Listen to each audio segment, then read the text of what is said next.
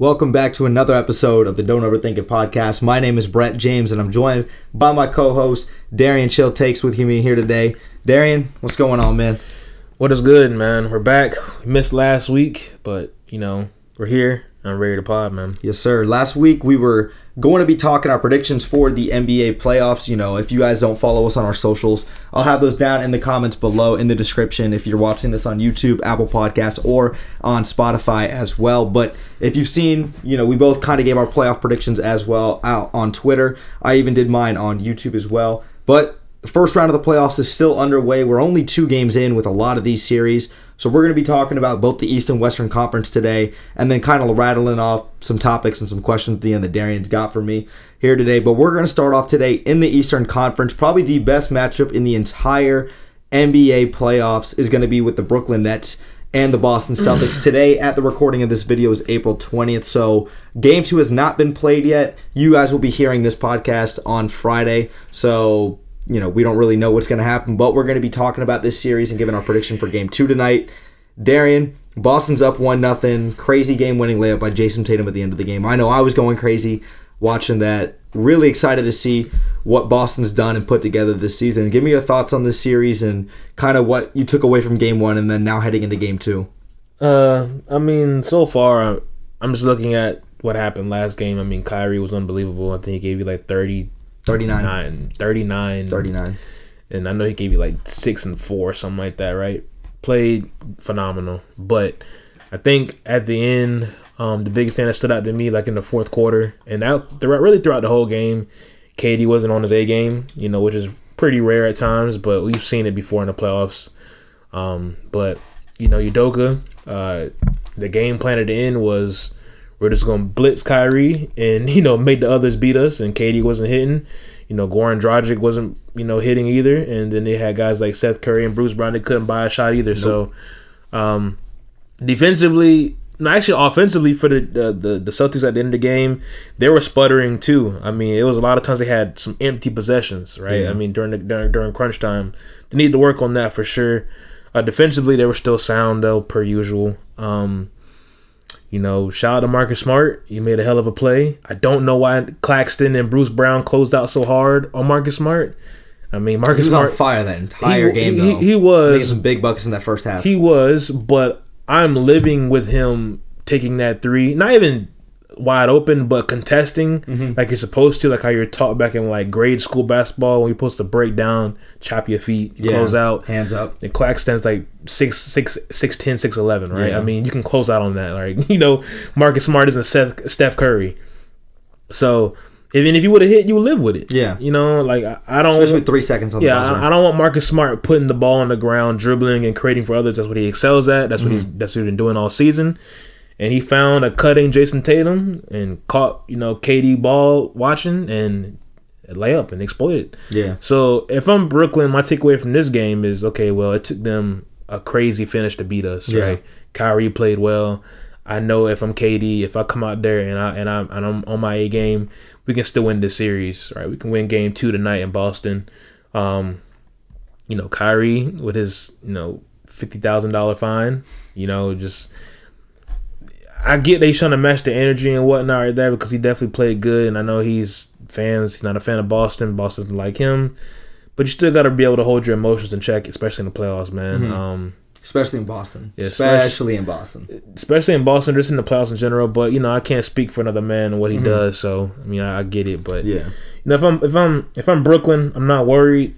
But if I'm Boston, I'm I'm happy because it could have been a game we easily lost. Yeah. Um, and you know, Jayson, Jayson Tatum, he balled out as well, gave you 31 points. Marcus Smart played good. Al Horford played good, and you know, it's just played phenomenal. He yeah. played very good. So, you know, it's gonna be a, it's gonna be a good series, man. Ben Simmons could possibly be coming back around game three, game four. Um, it, it, regardless of in Boston or Brooklyn, I'm not really feeling comfortable either way, right? Because that one game it took. I could have gone either it, way. It could have gone yeah. either way, right? So both teams are coming into this uh, next game. It's still 0-0 in their minds. Yeah, go out there and win game two, no matter who you are, Brooklyn or in Boston. So, so leading into game two, now that we're kind of here, give your prediction for tonight. Then, man, it's back tough. to the Boston Garden. It's, it's tough, man, because even if I am Boston, I know I just said I'm not leaning any toward any any way, but I'm still confident because I just stole a Yeah. game that I easily could have lost. You're right. So I think I think Brooklyn's going to come out more on the edge. Um, they're going to be, you know, KD is going to come out firing. So will Kyrie.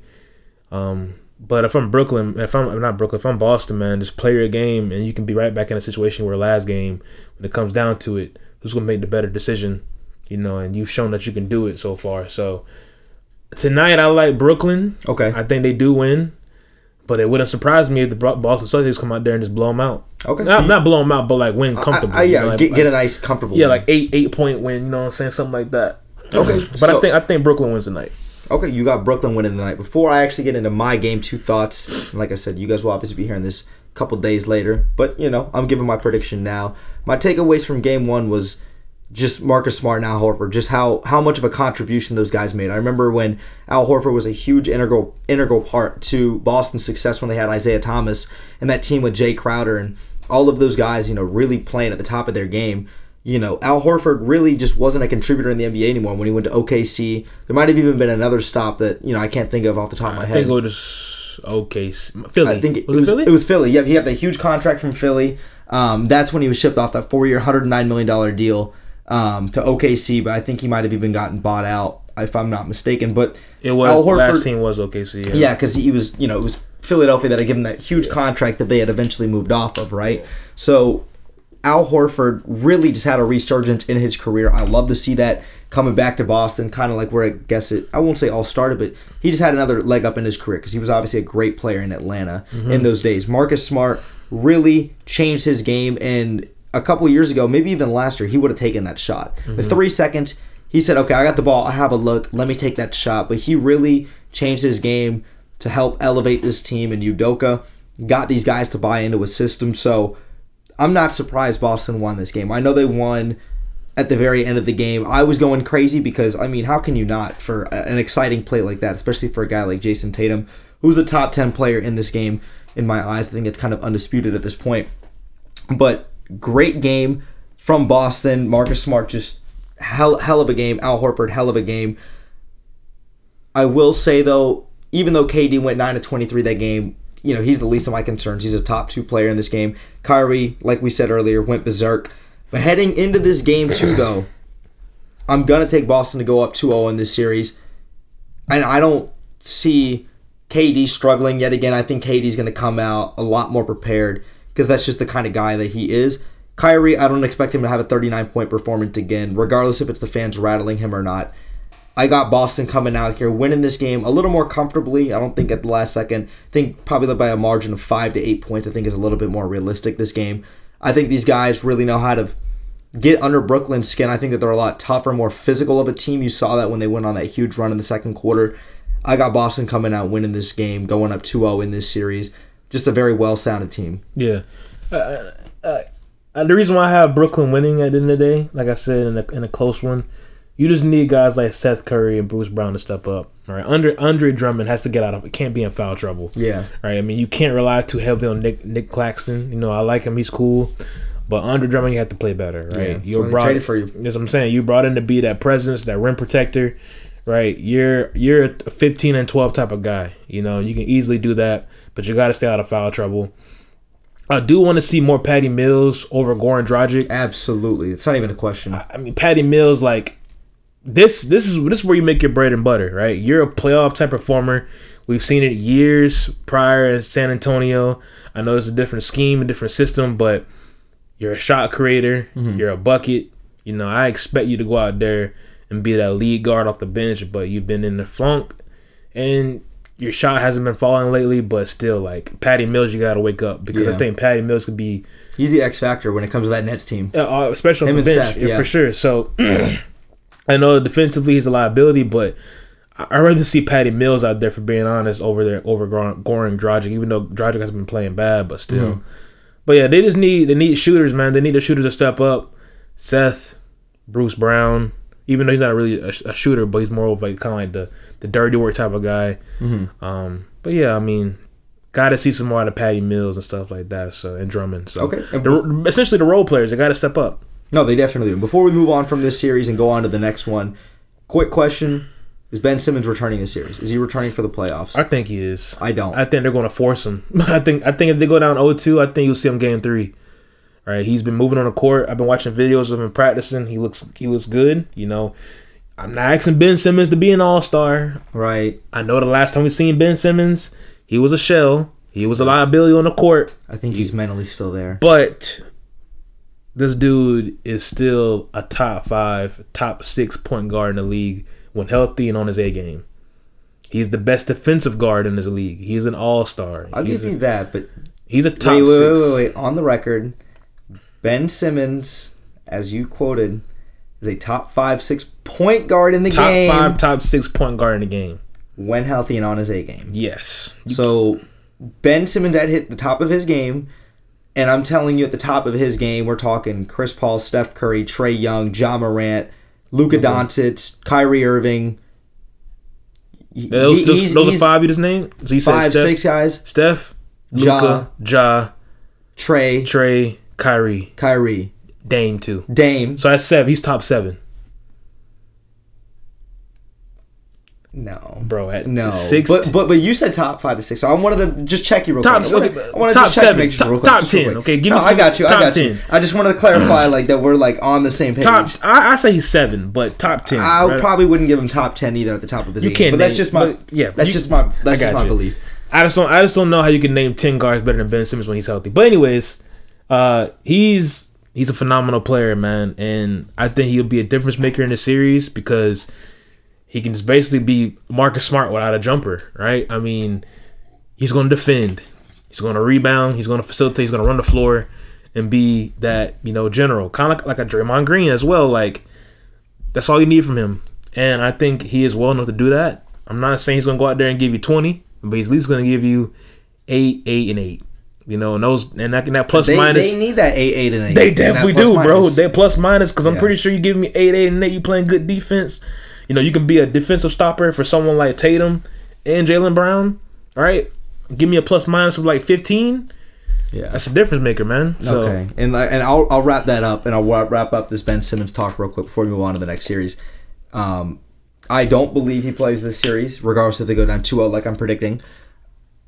And if he does miraculously play this series, I, I don't feel comfortable that. Why?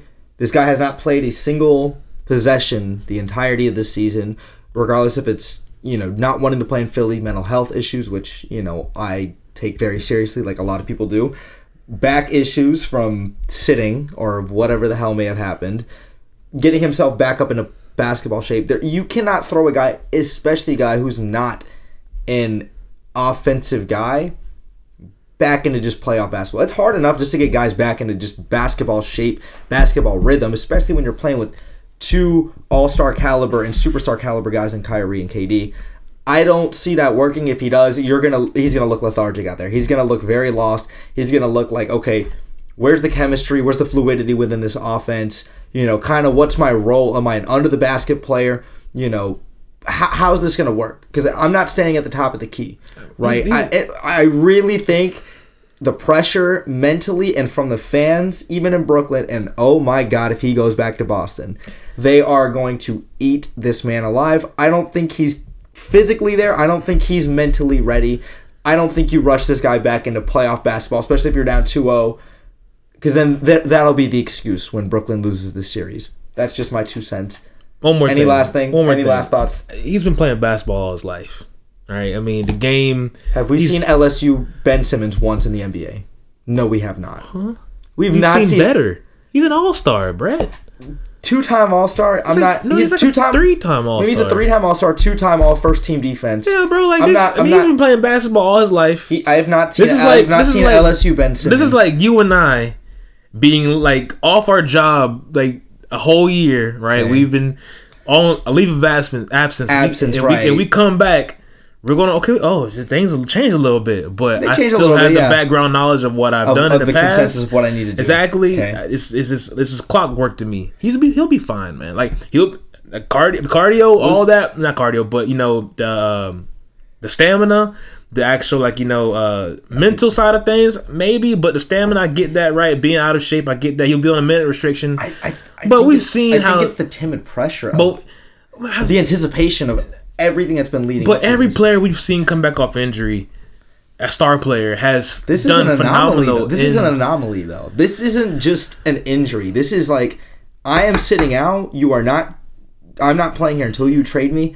You're gonna trade me, and then I'm not gonna play for this team until Game Three of the first round of the playoffs because he's been all of a sudden I have an injury. He's been. It's not like he picked up the ball last year, bro. He's been playing basketball all his life. I get that. I'm It's- just okay. it's second nature belief to is- him. My belief is it's not gonna work out.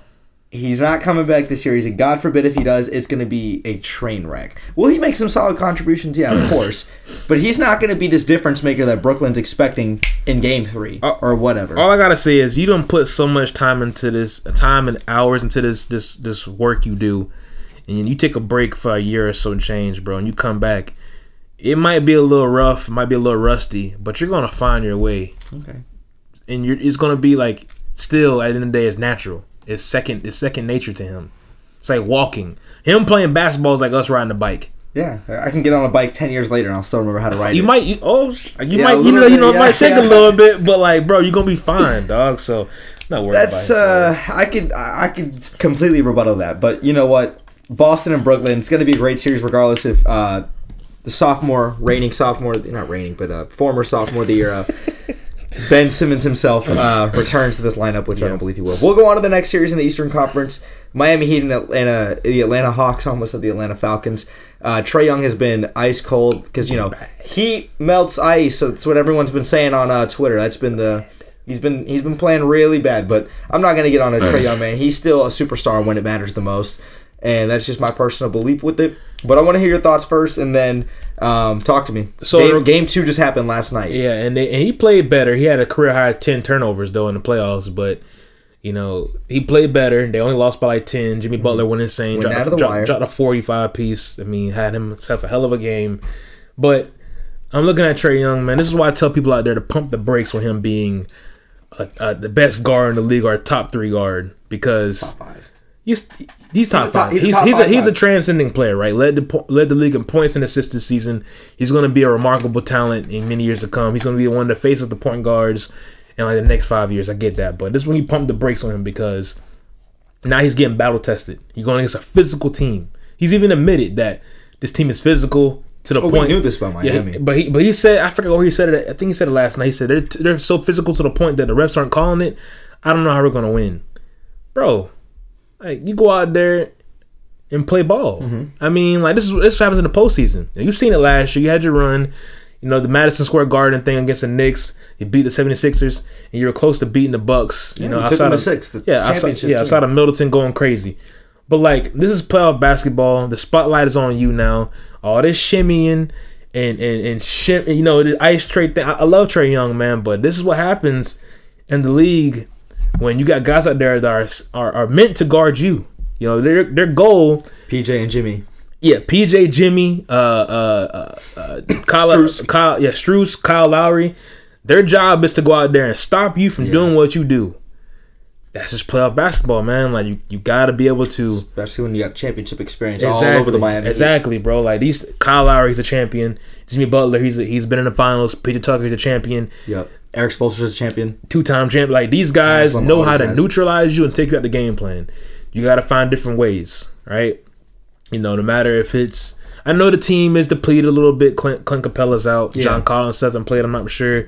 You know, you're not really good and really good contribution from your other guys and Kevin Huerter Yeah. and, and DeAndre Hunter and stuff like that. Danilo Gallinari, Gallinari. he's playing good, but like Yeah.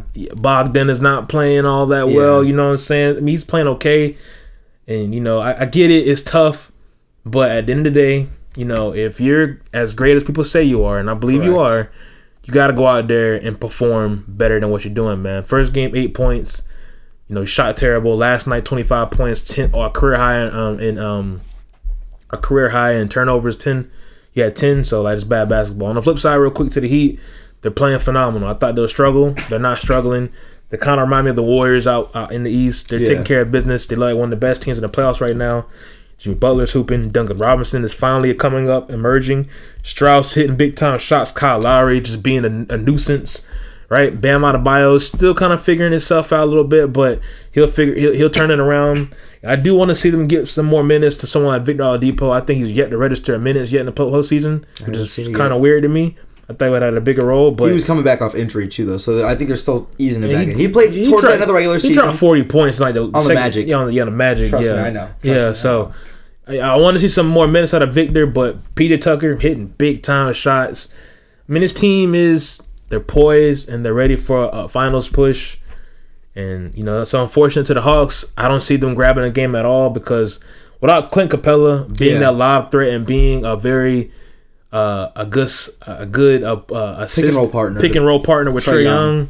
One of the best pick and roll duos, like Yeah, because, lobs. exactly because when you get that pick and roll with Trae Young, like you can take advantage of someone like um Bam Adebayo, even though he's Right. a very good perimeter defender. Trae Young can cook that, right? Yeah. But when you got guys like, you know, Huerter or DeAndre, you know, or other guys setting picks, man, you're Yeah. getting guys like PJ Tucker on you, Jimmy Butler, Kyle Lowry. It's not easy. Oh, these guys Easy- yeah, and they're physical, man. So like he's not he's not used to the physicality, man. They're showing. So Yeah, they're top two defensive team. yeah, But- they're they're they're battling them. They're, bru- they're bumping and bruising them up, man. Yeah. So Well, you had you just said uh, Heat and four. I before the series had the Hawks, or excuse me, the Heat and six. I thought the Hawks were, and this is obviously before Clint Capela went down too with that hamstring injury.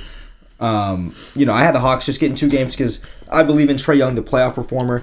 Um, and I, and I don't want this series to be a knock on Trae Young. Um, it's it's not you know, necessarily. yeah, and I I just I just want to make that abundantly clear to anybody out there that um, will you know call him out for being a fraud or being overrated or not being this transcendent superstar. No, Trae Young is a top five point guard. He proved that last season in the playoffs, and he proved it again. Granted, they've had an immense amount of injuries this season. That's why they were a 10th seed, but they battled, or excuse me, they were a 9 seed. but they battled their way up into the play-in tournament. You know, big win, blowout win versus Charlotte. Then they go and beat the Cleveland Cavaliers after they blew a lead because of Trae Young, right? And then they're playing the number one team in the Eastern Conference, right? This isn't just you know any number one seed. Like there was weeks at a time where you would go on Twitter, you would go on ESPN, and you would just consistently see this is the most overrated one seed like in the I was NBA. one of them. like yeah, and, and, you were, and I'm and I'm sitting here like, what are we talking about? They've been a model of consistency all year. Look at the championship pedigree they have. I know Kyle Lowry hasn't played up to quote unquote his standard. PJ Tucker was going berserk in game one, right? Jimmy Butler obviously gives you a 45 piece last night. Trae Young's been struggling. He went two of 23 from three in these last couple of in the last two terrible, games, I guess. boy. from God three. dang. Right. And we know this, and you alluded to it 10 turnovers, right? But I just there was just an immense amount of just Miami slander I saw everywhere, and even from a Magic fan, I was like, you know, I don't support the Heat, but like I'm gonna give them their damn respect because this is a damn good team, and they're not losing in the in the first round. I still have Philadelphia winning and advancing, going to the conference finals. I'll get into that in a little bit, just because I'm sticking with my pick. But Miami's a damn good team, and this team could still go to the conference finals. I don't got them beating Milwaukee, you know, but Yeah. this is going to be a great. I think these two games in Atlanta is still going to be telling. Miami's not going to sit here and blow them out of the waters. Atlanta in Atlanta is going to put up a fight. I think that they get one. I think they're going to lose the series now in five versus six because, like I said, I had picked them in six versus you know Miami before Capela had gone down. I got Atlanta winning game three. I think they're going to come out motivated. They're going to lose game four, losing Miami. It's just my thoughts on it. game. I I, had- I, I had the Heat in five. Um, I said Trae Young could at least get you one, He will. He'll get them one. right? He'll So, get them. A, but if they lose game three, it'll be over this weekend. Like, Yeah. that's, that'd be that'd be toast. Like, I definitely agree with that. I don't I don't know how If- much the Hawks could do to win game four, man, because the Heat and I still feel the same way. I still feel like they're they're not a championship team. Mm-hmm. I think they're just taking advantage of a weaker. a weaker con- a weaker uh, opponent and they're going to face a a better opponent how it stacks up in the East and the 76ers who Next round. who are a physical team but they can also get to the free throw line we're about to talk about in a little bit Yep. and just take you out your game plan off that rip itself but I stand corrected the Hawks not the Hawks but the Heat are looking like I said like the, the second best team in the playoffs right now I will Yeah. not lie about that they're looking very good they're taking care of business As and they from, should. and from what I see they're, they're dominating Yeah. so And yeah. and, I, and I've said previously in the podcast that I don't, I haven't seen, I haven't seen, you know, Jimmy Butler perform well in the playoffs since the bubble. Forty five in game two. and he hit a clutch three at the very end of that step back. And Jimmy's not a three point shooter. He had four so- threes last game. He was he was man. I watched the highlights, man. He was on it. He was Yeah. energetic. He was firing. He was he was passionate. I mean, this. I don't I know. I, I guess it means more to him. I guess he's been hearing the noise too. You could tell it means a lot Yeah. to him this series, this this playoff run because. He- go ahead. No, go. I was gonna say that, and I was telling you when we were having this conversation a couple weeks back about Miami, and you were like really hesitant with them, not a championship team. I was like, dude, I believe in Jimmy Butler. And you're like, what Yeah. if, you know, what is Jimmy Butler showing? I'm like, there's just, just Jimmy. There's something about Jimmy. Yeah. And I believe in him, and I believe in this team, and that's really why I've stuck with Miami this entire time. I, I, I've, like I said, I've I, he it looks like he took a lot of those things that people said about the Miami Heat personal because Absolutely. he's playing with different energy right now, man. It's postseason, man. It, it, it means more. These games mean a lot more. So yeah, he looks he look good, man. Absolutely. And before we transition over to the Milwaukee and Chicago series, man, shout out to FLTeams.com, um, who I'm partnered and affiliated with, man. Uh, FLTeams.com. I got my shirt on right now, repping. I know a lot of you guys on the podcast can't see, but uh, we do professional and collegiate teams in the state of Florida, man. Uh, journals, articles, and blogs on the daily, man. So make sure you guys go check out FLTeams.com. But that leads us on to the Milwaukee Bucks and the Chicago Bulls. Game two, I believe, is tonight. Um, It is. It is tonight. Give our predictions about that. Talk a little bit about it, but I want to hear your thoughts first. As always, go ahead. Uh, Milwaukee could have lost that game in game one. Uh, Chicago played well enough to win defensively. They could not just hit shots, bro. Zach LaVine played bad. DeMar DeRozan played terrible. Then DeMar DeRozan went like two for twelve in the mid range, something like that. Like Demar Frozen. like he just, just those- playoff demons, man. They, he just can't shake them off, bro. Like I don't know what it is. He's getting the same open looks. They're hitting the, they're hitting front iron, like you know they're banging off the glass. I'm like, God dang, bro. Like these are the same shots you're taking. Like LeBron's not standing across from you. I know I know it's Giannis. I was Another about to say, why does Demar always have to get LeBron or Giannis in the bro, playoffs? another feel so polarizing figure. You know, what I'm saying you got to go against, but like He's always like the best player in the playoffs. Like, he's like, bro, like it's Demar. Like you gotta figure this out, man. Like Kyle Lowry was able to get rid of his playoff demons. Yep. You got to get rid of yours too, man, because you have you were in striking distance. Vucevic shot to you, man. You've been up and down all season, but you showed up that game. He did. And I don't know if you're gonna be able to keep that up. But 24 and 17, I believe he had something like that. Like Off the top of my head, I can't remember, but I was watching the game though. hit two threes. I mean, he was he was cooking. Like he was working. They're gonna need that again They're, they're going to need that the whole series if they want a chance. Um, you know, Zach LaVine. In your first playoff debut, I know it's your first game. Uh, We've seen other guys play in their Yes. playoff debut and they play better. Jordan Poole, But, um, Tyrese Maxey, we get it, but I'm not. Yeah, um, but Zach LaVine, you got to take smarter shots, man. Like fade away threes. This isn't a regular season, man. You got to be more precise about what you're doing. This is a Bucks team. That's a championship team. No matter if the score is you're up three with three minutes left, they have championship DNA. They know how to close you out and get you up out of there, right? As we Yeah. saw, because you guys were in striking distance. You guys took the lead at one point. You guys couldn't capitalize on it. So for Chicago, you know, you're looking at this. Well, no one thought it would win this series, anyways. Right? They thought we'll get swept They think they, they got a chance now, especially tonight. thought they'd get swept, thought they'll get beaten five or whatever. You know what it takes to win. You know, the Milwaukee Bucks are still kind of like just lethargically pushing through. Mm-hmm. Right? I like how they've been doing all regular season. Khris Middleton didn't play good at all. You know, Giannis, you know, put out his points, but, you know, they're still missing that third option to really make this championship run. If I'm, if I'm the Chicago Bulls, I'm feeling confident, man, and I think they can win tonight. Like, I really do. I You think they Chicago's do. come out on top tonight. I think they grab game two. I think they come out and they just play with confidence, man. Like, can't get discouraged. I mean, one point you were down like twenty three to nine.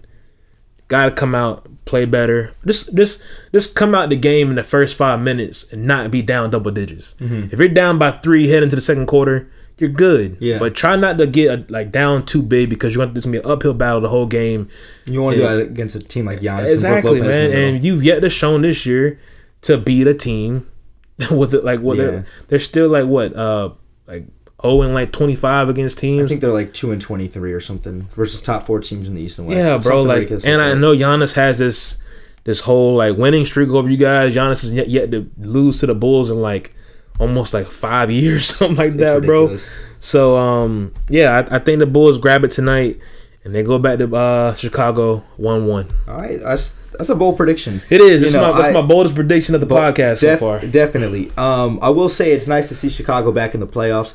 Um, never had any grudges against them. Plus, I love my boy Vucevic. You know, being the Magic fan that I am, Mm-hmm. so I'm always support the boy.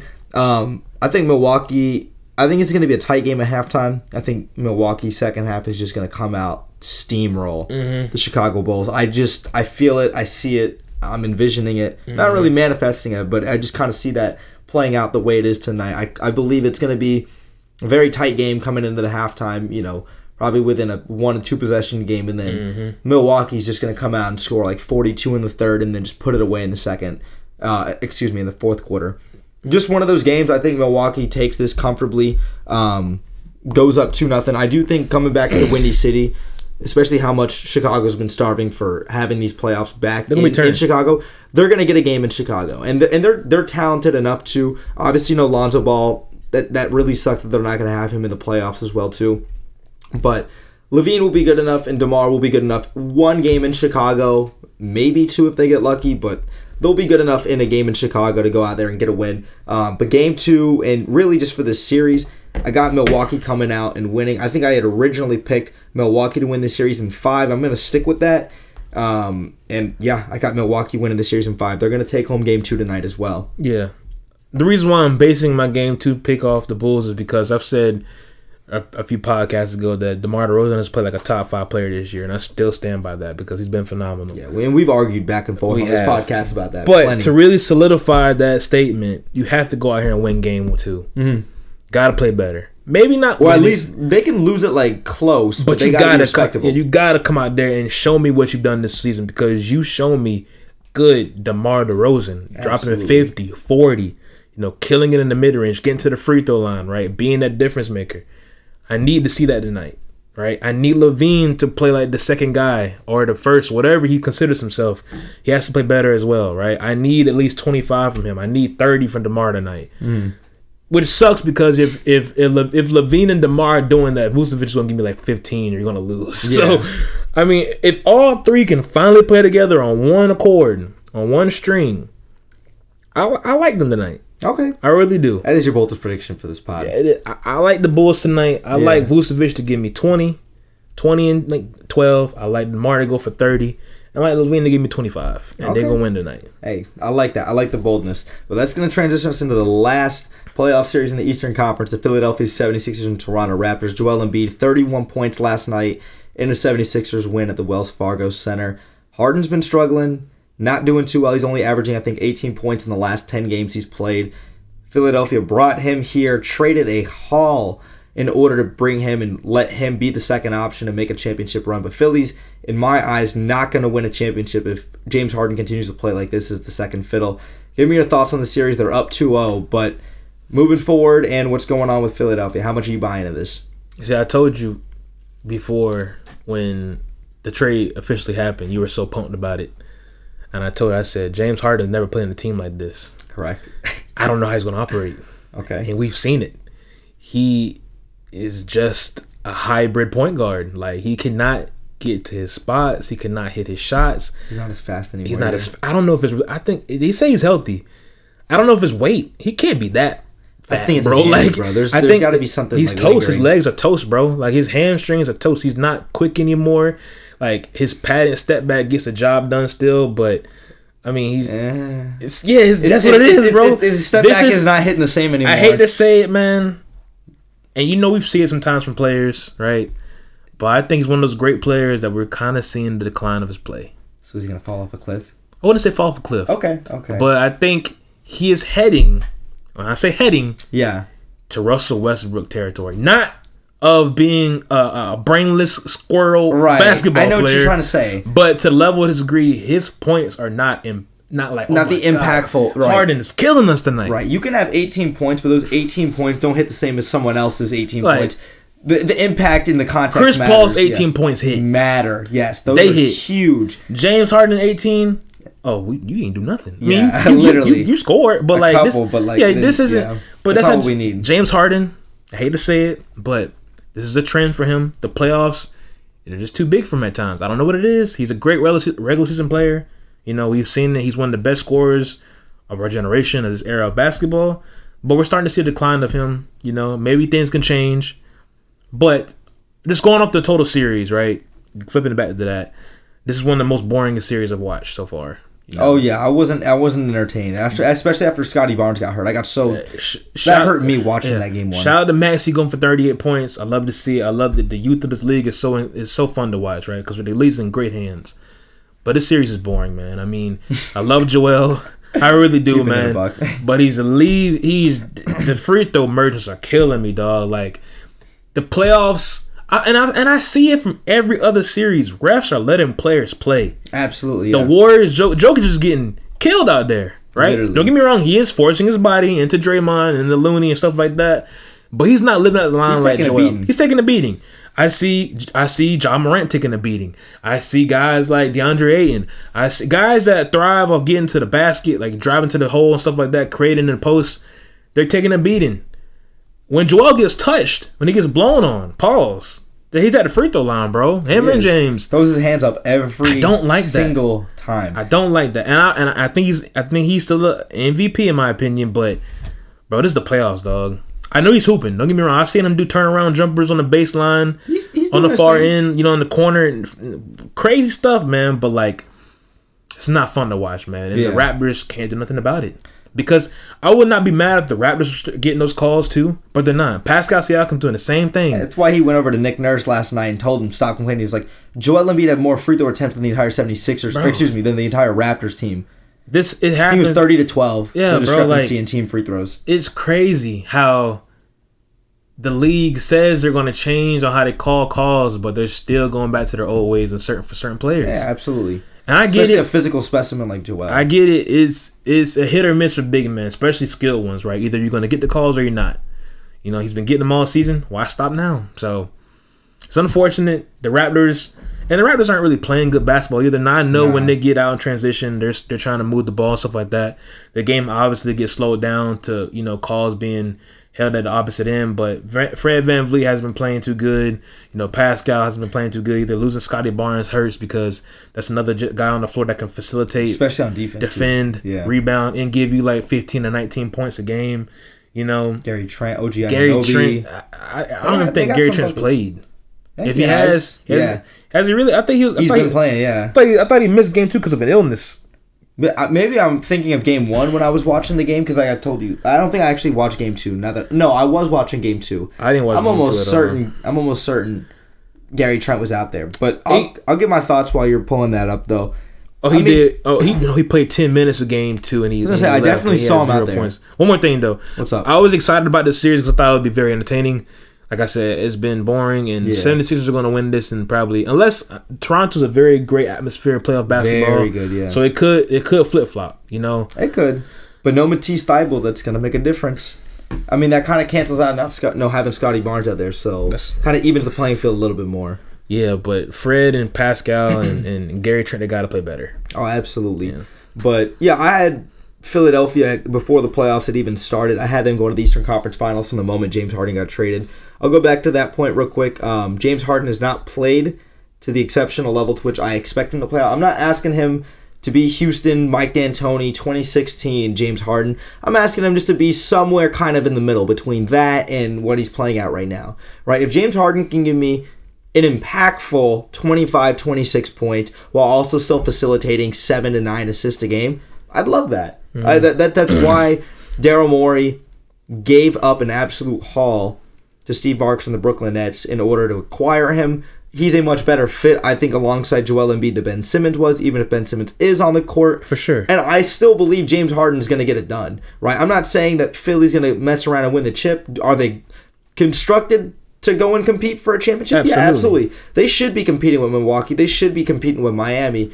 Have I seen it out of James in these two playoff series, or excuse me, in these two games yet? No, I have not.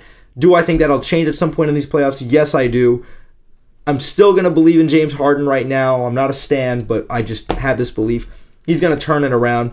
Obviously, Tyrese Maxey, I mean, nothing else to say. I mean, just phenomenal. But I had Philly winning this series in six going into the series. Um, hasn't been that entertaining of a series, like you said, either. Um, I did like the physicality. I did see out of Toronto, though, in the first half of the second game, just because Joel Embiid was getting just hammered. if you saw like the pictures that you could like pull up on Twitter and stuff too, he was getting triple teamed. He's hitting the deck. I mean, Joel Embiid was getting just absolutely physical out there. But it's unfortunate But- they can't keep it up because Right. And he's gonna he's gonna go and get twenty free throw attempts a game, Yeah. right? And I'm not gonna hate on it, you know, whatever. I guess it's a part of the game. Is it boring? Sure. Does he put up numbers? Yeah. Is he an MVP candidate? Absolutely. Absolutely. But, but I mean, whatever. It's it's not been that entertaining of a series compared to everything else we've seen. I'd say this one and the Miami series have been the two, you know, most boring ones, quote unquote, to watch. Um, I didn't. The only game I have not truly watched is Phoenix and Nola Game Two that game was exciting. that last I night. that I did miss that Phoenix win, which is what we're about to get into just now. Um, but every other game, I've at least watched the entire game, or at least like the first or second half. Yeah. like I have sat down and watched basketball, and it's and it's been great. Yeah. you know. One more but thing. What's uh, up? We're just going back to the 76ers. Like you said, and I agree with you 100%. If Harden, if he can figure it out, get back to being that 25, you know, and 9 type of guy, then, you know, uh, you saw something? No, I, no, I you thought- good. I thought you saw something about to break No, news no, no, no, no big Twitter news. It's Ian Uh, Rappaport though, but Um, but if he can get you that 25 and 9, then absolutely you have a chance. But if he's playing like this, bro, they have no shot at the po- they have sh- no shot at the finals, man. That's just my opinion.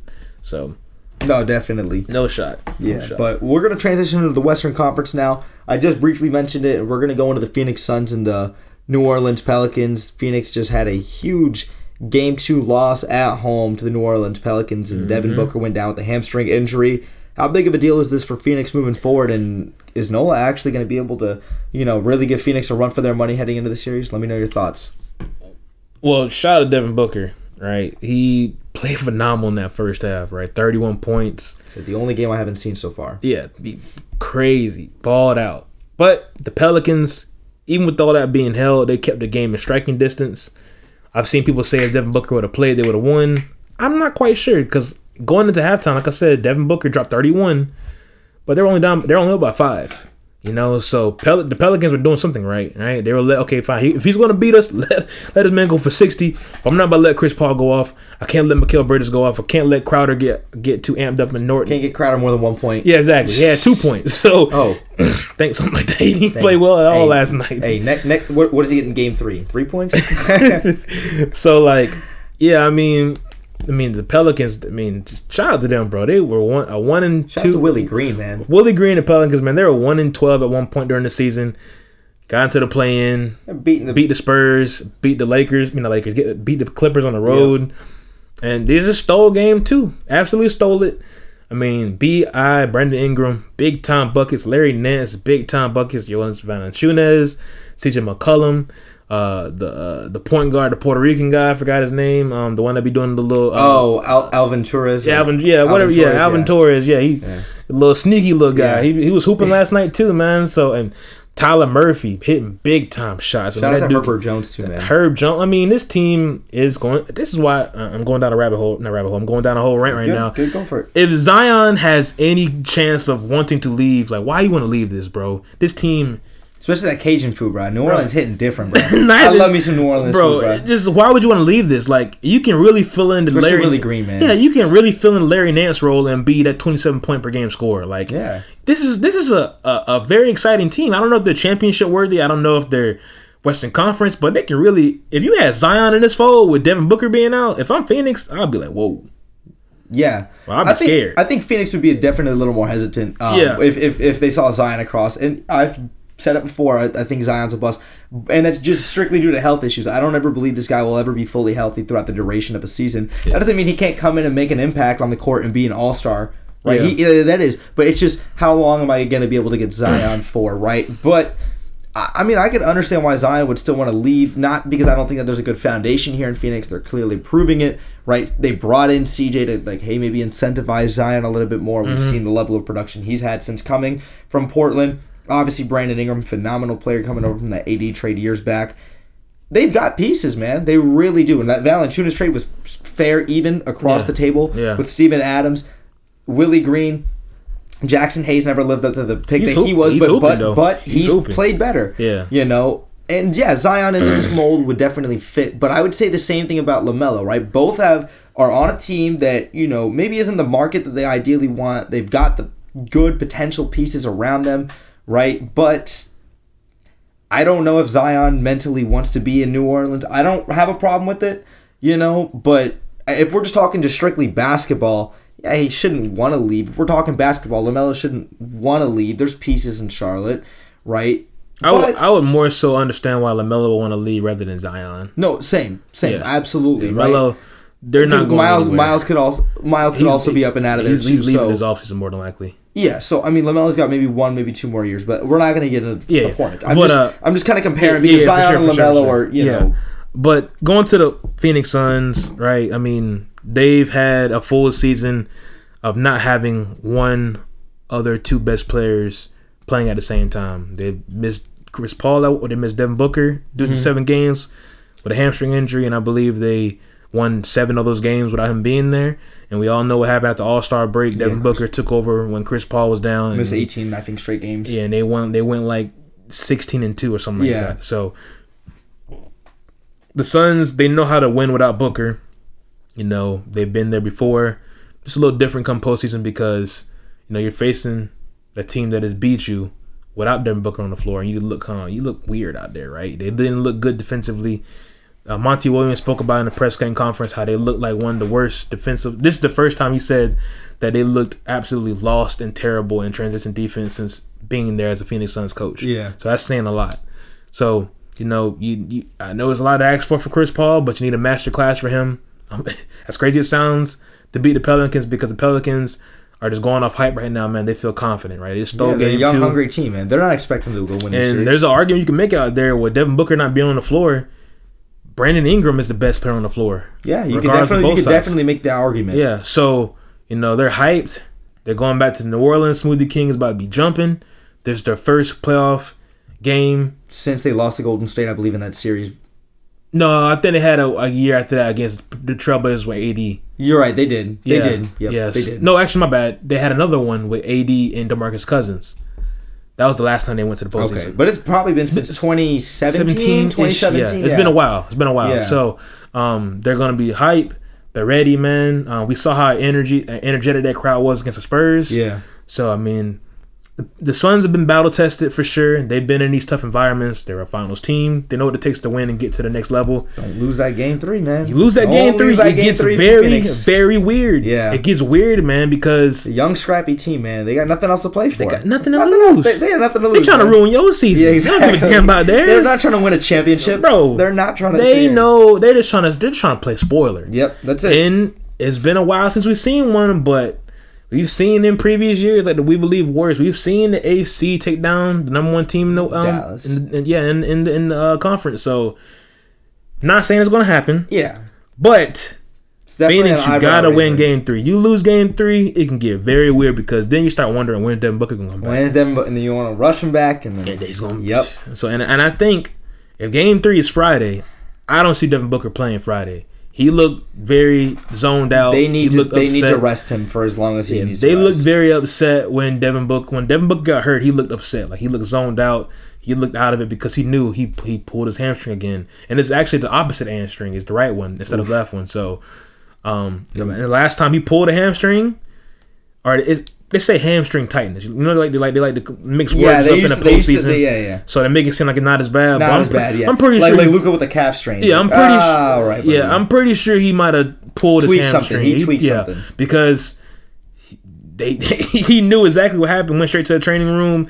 Got out like ten minutes later in, in street clothes, man. Yep. So it's unfortunate. You know, Chris Paul. I swear, it feels- like he has like some type of like spell put on him, man. Because every zero. every single playoff round, bro, since the Clipper days, something happens. Either he gets injured or a key player on the team gets injured. Scott Foster's officiating. or Scott Foster's officiating. It's like three things you can't avoid, Just, man. just it's inevitable. And Chris this Paul. season, it's his teammate. So, but Chris Paul's been there before. He knows what it takes. You're going to need some big contributions from DeAndre Ayton, uh, uh, Cam Johnson, uh, Larry, Larry, uh, uh, Landry Shamet, Mikal Bridges. Jay, James, Jae Crowder got to step up, man. You can't go out there and give me three points and combine. no Jae Crowder games. slandered though, man. Yeah. Come on, that's my boy. You gotta, you But- gotta give me, you gotta give me some points, man. Definitely. All right, let's go into Minnesota and Memphis now. Memphis getting a huge, huge, huge win in the grindhouse. I don't know if it's the grindhouse anymore, but I'm still going to call it the grindhouse. That's basically what this team is still to me. Um, over the Minnesota Timberwolves, Minnesota came in there and put down a lick on the Memphis Grizzlies in game one. Anthony Edwards, Karl Anthony Towns, those guys came out fired and ready to play, and Memphis responded. Tying the series up at one to one, heading into Minnesota now. What are your thoughts about game two and also just really where the series is heading? Because I originally picked the Memphis Grizzlies to win this series in seven. That was my prediction. I I, have- I I- think it's looking that way. I th- I have Grizzlies in six. Grizzlies in six still? Okay. Game two, it kind of started out slow, man, but Taylor Jenkins shout out to him, man. He got in that bag offensively and did something very simple. And, you know, the Timberwolves could not adjust. They took Steven Adams off the floor. They ran small ball or Brandon Clarke being the big, and they and the Timberwolves were lost. yeah. You know, Ja Morant and the Memphis Grizzlies, they just too fast for him, man. That's the difference maker, man. You putting KAT out there to be in a small ball lineup, having to guard guys like Jaren Jackson, Brandon Clarke, who are you know faster than Steven Adams, who's just not going to sit there and be a uh, just a, a body in the paint. It's going to it's going to be it's going to be a little troublesome. So I mean, you know, uh, I think KAT gave you like 19 and like like 15 and 11 last night, something like that. He didn't play his best, but you know, it's gonna be a, it's gonna be a six games here. I, I still like Memphis, right? Memphis and six. For some reason, I don't know how. I never seen this before, bro. But the Memphis Grizzlies get better in the game when Ja's not playing. I don't, I don't know how that works, Yeah. bro. Because they went on a huge run the second quarter when Ja was on the bench, and that's how they were able to extend the lead like 15, and that's why they won by like 20, I believe. So, um, yeah, I mean, um, the, the Timberwolves got to adjust to that, man, because it- it's kind of funny how something as simple as Steven Adams not being on the floor and the Grizzlies running small ball just kind of just confused what the whole game plan was. The Timberwolves and they never, they were never able, never able to bounce back. So, my thoughts, I think Memphis is in, I wouldn't say full control now, but Memphis has the confidence to match their win. Because they know the type of team that they're trying to be this season. Exactly. So you know, we saw the whole Ja Morant thing on social media. I, I I like Ja a lot, man, but I do. You got to win this series, man, because you're talking a lot, He talking a whole Talking a lot. lot. Especially after he got hurt. talking a lot, Uh, talking a lot. I know. dropping Jordan memes, saying that it's one game. You know, Come on, dog. He's got two playoff wins on his resume. Let's pump Yeah. the brakes, Ja. Let's these new the kids brakes. different, man. You know, these, Oh, these him and they, him, they, and, your they, him and. Anthony and, and Lamelo, bro. These guys be like, They y'all age, your age. You're 21 years old, man. know, y'all know, different, yeah, bro. Like. I mean, even I'm 24, but still, like these Yeah. these new players, bro. Like, they They mad talking, bro. They That- talking. And I will say though, with this series, like I said, you picked Minnesota. Excuse me, you picked Memphis to In win in six, six. I picked Memphis to win in seven. I still think this goes seven. Great game one and game two. Watch both of them. What a just blowout in the second half too. I mean, Minnesota had no offense. I mean, just zero offense. They were just chucking up shots. D'Angelo Russell pull up three. Anthony Edwards pull up three. Vanderbilt pull up three. Like no, there was no fluidity in this offense. but that's what they live by, right? That's Right. It, it's kind of like you it gotta didn't. It didn't feel in rhythm. Though. Yeah, you- it felt like just just doing it just to do it. you got to take it with what it comes with it because they're offensive, but they're a top five team, and some nice shots ain't gonna fall. It ain't gonna look pretty, right? We've seen it years past with Houston and Golden State. When you're relying really, or, you know, really heavy on your jump shooting and stuff like that, and hitting threes and hitting long range twos, the nights you're not hitting, it's gonna look very nasty. gonna look bad, So, yeah. but when you are hitting, It looks great. you look you look unstoppable. So, Yeah. yeah. But no, I mean, I mean, that's definitely been a thing with Minnesota consistently all year, right? We've seen them get better, and when they're playing at their game, they're a very good and competitive Very young tough. team. I do think that the series is still, like I said, going to go seven. I got them splitting on the road. Um, Memphis heading into Minnesota because I mean that atmosphere was just so electric for the It Clippers. was. I can just imagine what it's now going to be like, you know, playing in a legitimate playoff series. I think Memphis and Minnesota, both two young, scrappy teams. I know Memphis is a little more quote unquote proven this year. I'm still taking my Memphis in seven. I'm still sticking by that. But uh, Minnesota, man, I mean, I want a very good team. I want Still I want Minnesota to win though. Uh, that would be nice to see Minnesota win the series because it would also stick with my narrative about Yeah, Memphis and, and I'm kind of leaning towards the narrative now. But, not like, being yeah, frauds. They're just talking too much, bro. I don't It's like not when, even the talking, bro. I don't like when teams like- talk and they haven't proved and Did you, did you see Anthony Edwards in his interview with Malika Andrews on NBA Today with Richard Jefferson today or Like, like and um, on, on uh, NBA nah, Today. I think I saw. he was talking about like Anthony Edwards Jr., his dog, and it was like a little five minute interview on YouTube. You can look up, bro. I like, think I just- saw it. Bro, Anthony Edwards, such a, all these young guys, man, they're just funny, bro. Yeah. they just but they all talk, you know, Yeah, like him, Lamelo, Memphis Trey, is all of talking, them. bro. Like Memphis, Memphis talking is like talking they, like they've been to the conference finals. Like, dog, like what have they won a done? champion. They're talking more than the Suns, and the Hey, Suns were in the finals humble, last. Humble yourselves. I think they're gonna be Humble humble yourself, soon, bro. bro. What if what if Minnesota goes and wins both home games? And they have three. Oh, Memphis ain't coming back on that. If Memphis go, I mean, if Minnesota If, if goes back to takes- go home Minnesota, and take care of business, bro. ooh, it's gonna be nasty, Mi- boy. Hey, bro, that Ja. I know my boy. That- them John narratives been brewing too. So, Yeah. Ja, you better Hey. win. I would hate for you to be. Uh, what, what's the excuse gonna be then? What's the excuse gonna be them then? John narratives brewing, man. He's kind of setting himself up that way. So He is, I he is, but he could back it up. He could back it up. But we'll go on to the next years. We'll be talking about your Golden State Warriors and my MVP, and Nikola Jokic and the Denver Ooh. Nuggets. Golden State came out on top. They're up 2-0 in this series. Steph Curry coming off the bench. He'll get himself back into Steph Curry form really, really sooner than later. But we got to see the death lineup, man. oh my god, Talk, man. talk to me about the death lineup and talk Steph to me Curry about the coming off the bench. I mean, for Jordan Poole because of the minute restriction, but what a teammate, dog. Like, what what player out there, even if he is banged up and bro, what player out there is coming off the bench? That's that. That's a Steph Curry caliber That is player. a Steph Curry. Russell Westbrook could never.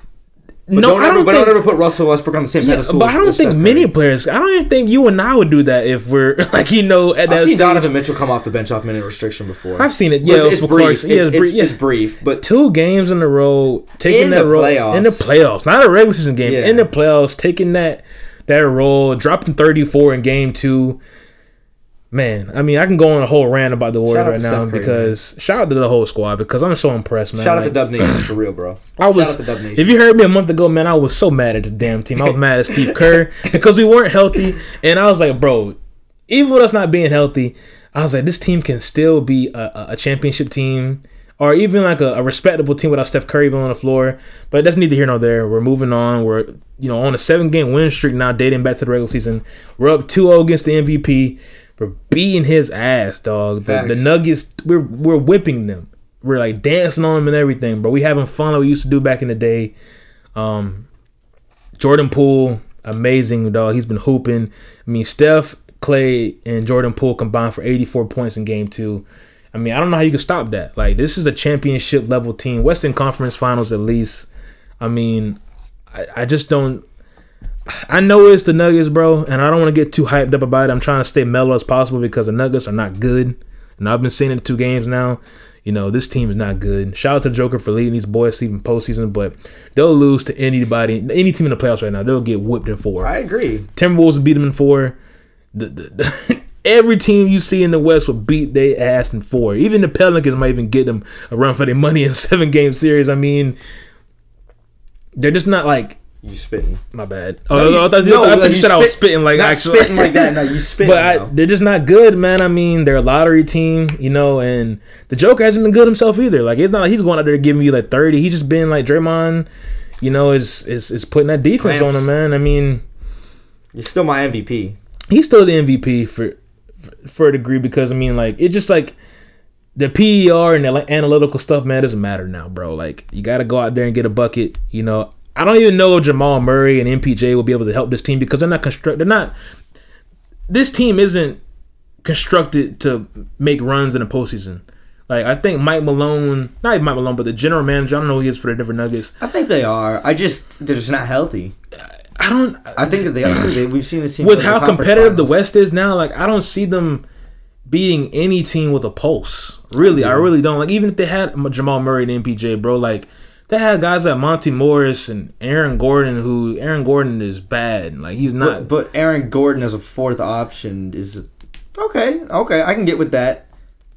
maybe, but like Monty Morris is cool. They- Barton is cool, If but they like want to package Michael Porter and Aaron Gordon and get like another like legitimate player, right? Like I'd be like, okay, maybe. okay. But I, I think they just did a like this is just reflection how bad of a job they did building the think so. team for I- Joke the I Joker, man. I mean, I like disagree. when he when his money comes up, dog, he's going to demand the house. He's going to be the highest paid player in the league easily. Should be. He He deserves. to should be. And and if is Denver to be willing to pay it, I don't know, but I know some team will because Come to Orlando. Come to Orlando. I hope he, I hope he gets some Campaigning. help. I hope they can get healthy, man, or or or he can leave. He probably he's probably going to stay because he's he's seems like a franchise type player. He's, He's also like most of these foreign guys don't care Yeah. about But- stuff. to the Warriors. I mean, I'm interested to see what happens in games three. Games one and two have been do- the dominant. You know, Mm-hmm. phenomenal to watch. I've been excited, been hyped. Uh, game three is going to be interesting. It's in Ball Arena. You know, the high altitude. So you know the the whole playing with the shortness of breath is going to be a thing. You know, Denver's going to be rocking. You know, but I've seen Damian Lillard go in there and, and, and not miss a shot.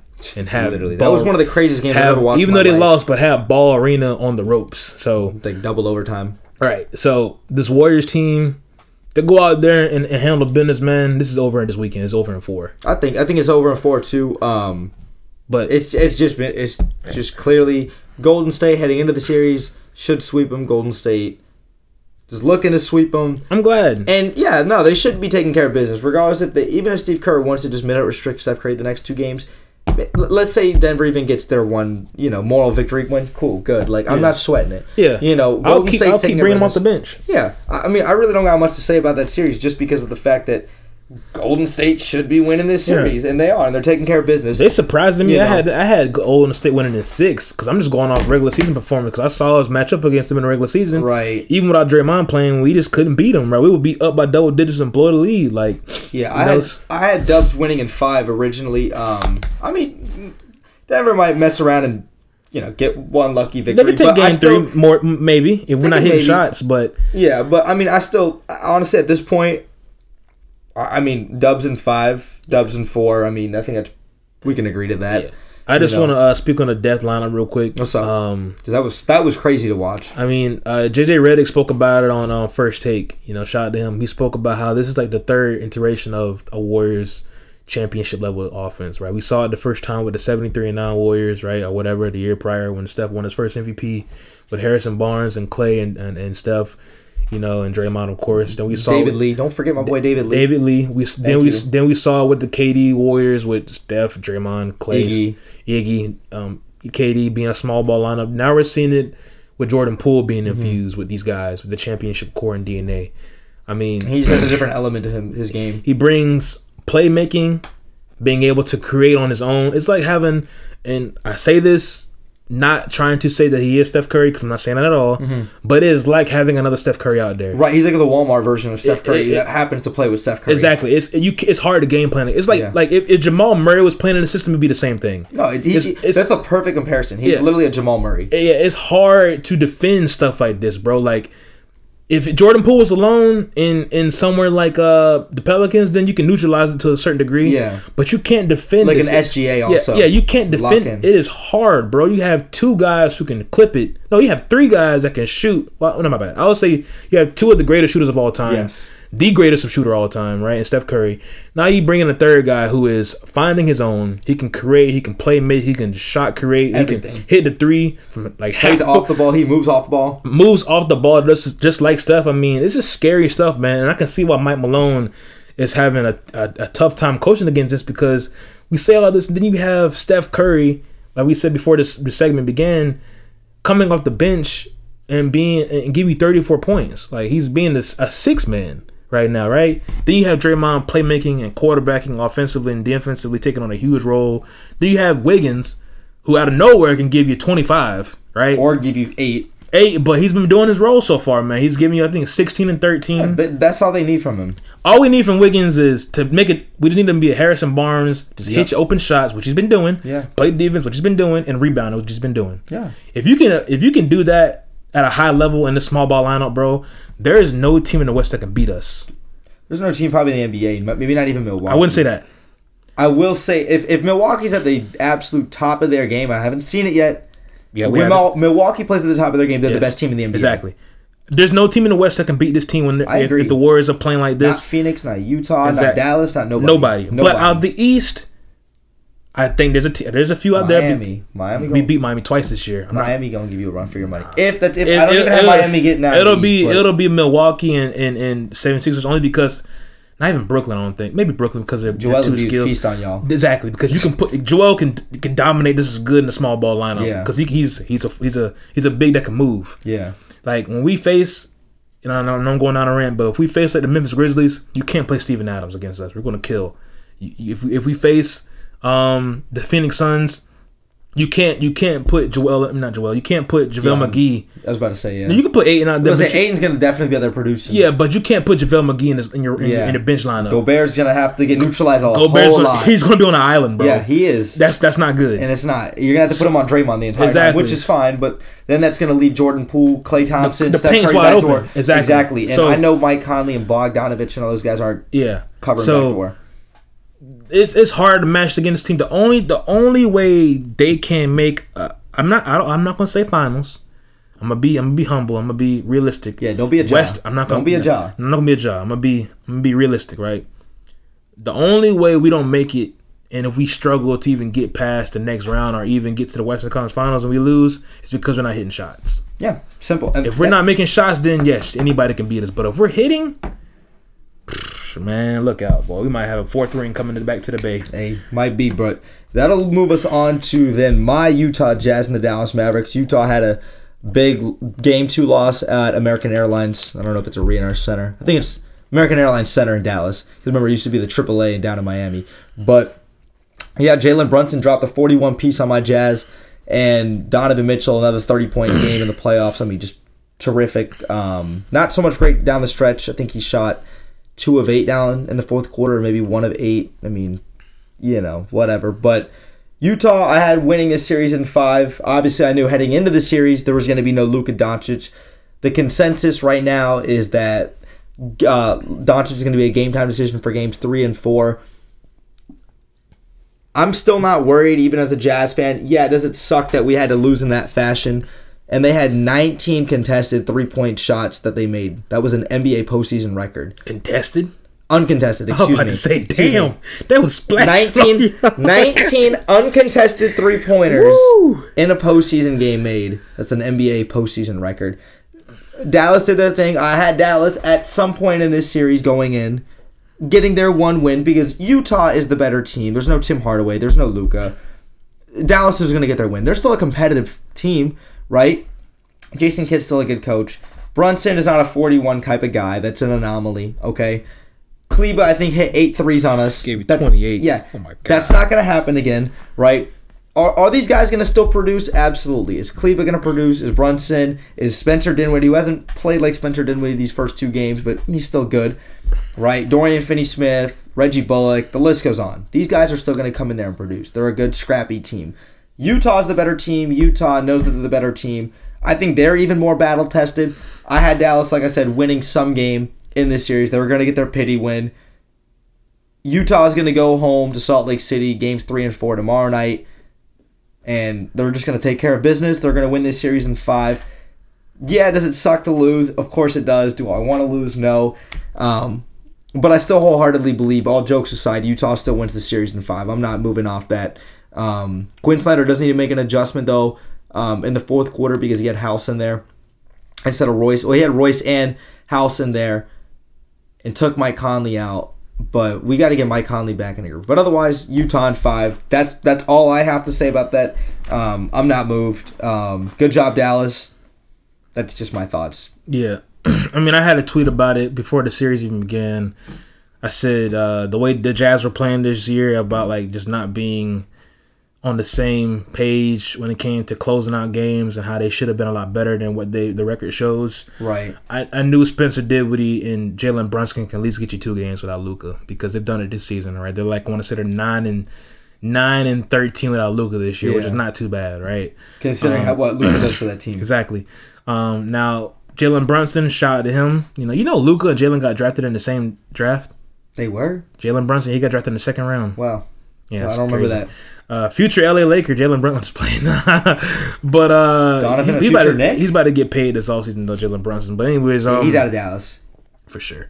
Um, but uh, shout out to Brunson, man. Gave you 41 points, big time buckets. Uh, you know, like if I'm Utah, I'm not worried, like you said, because you named a lot of things that are not going to happen in Game Three.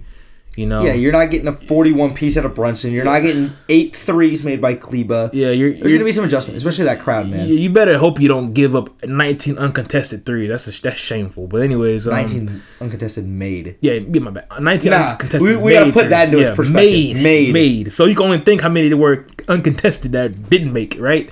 So, anyways, uh, you know, the Utah Jazz, they're just defensively on the perimeter, man. They're just not a good team, bro. Like you can kill you. them, like. And I don't, and I know if Rudy gets the blame of all jokes defensively because he does He's so not much. the problem with this He's team. not a problem, bro. He's far now from the offensively, he is a problem because they tried to feed him in the post. They tried to get the game going through him. He has zero post game, but Quin Snyder, as a head coach, you know your personnel, you know your player. Why are you even putting Rudy Gobert in that position? Why is he not a live threat? You know, He did drop two lobs um, in the game as well too. He Yeah. had two that went through his hands. that's cool So and everything like that. Conley threw him one, didn't didn't work out. Donovan threw him one, didn't work out. But he had another one that did go down. But that's sad, man. The dude only gets three tries. Like, come on, man. You got to keep feeding him. I mean, I know, I know. During that game, he had guys like Jalen Brunson sealed in the paint, dog. He is shooting a career high in free throw percentages. I think he's like Seven- seventy-two. he's at seventy percent Seventy percent. He's going to hit. that's very respectable for a big man. like exactly. that. He's going to hit his free throws, bro. He, I think he had like under fourteen points again, Yeah, he had eight points this game. bro. Like, anyways, But that's on that's on Utah. That's not on Don. That's not on. That's not really on Rudy. But yeah, it's on. not. But defensively, they are just they're bad, man. I mean, I I gotta ask you, is not having Joe Ingles show it um No, help it you know no. affecting I mean, team? no. Coming from a guy who's watched eight years of Jazz basketball and seeing the way Joe Ingles contributes to this team, even when he was a starter, but obviously last season and Yeah. and the season before he got traded and went down with injury. Um, very solid and productive bench player. Right, he is